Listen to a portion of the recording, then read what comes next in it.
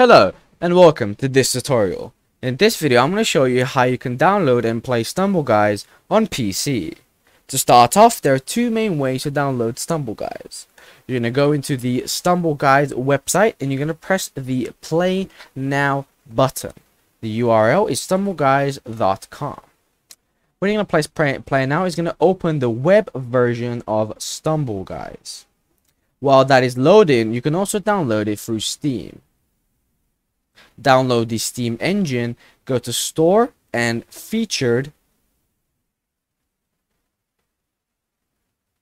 Go to search bar, then you're going to go Stumble Guys, and you can see your Stumble Guys application where you can just press play game and it's roughly about 300 to 400 megabytes give or take and within the normal internet connection it should be at least 2 to 3 minutes and here you can play stumble guys Thank you so much for watching. If you enjoyed, please like and subscribe, and I'll see you soon.